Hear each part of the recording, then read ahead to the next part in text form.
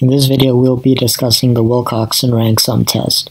Suppose we have two groups that are not normally distributed. And so let's say group 1 is equal to the numbers 1 through 10. And group 2 is equal to the numbers, let's say, 2 through 11. So the groups are not that different.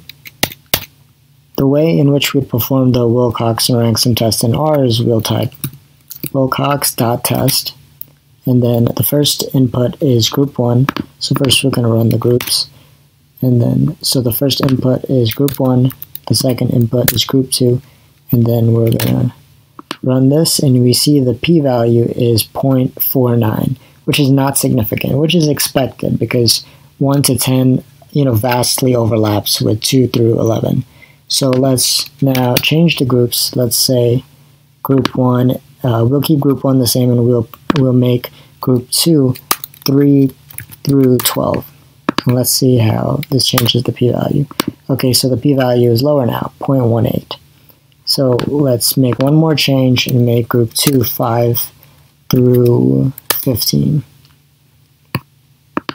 So if we run this, you see that the p-value is now 0.01. And so this is the level at which, you know, this p-value is now below the, if we use the 0.05 threshold of significance. So this is now, the groups are now significantly different. And so this is how you would conduct a Wilcoxon rank sum test in R. Thanks for watching.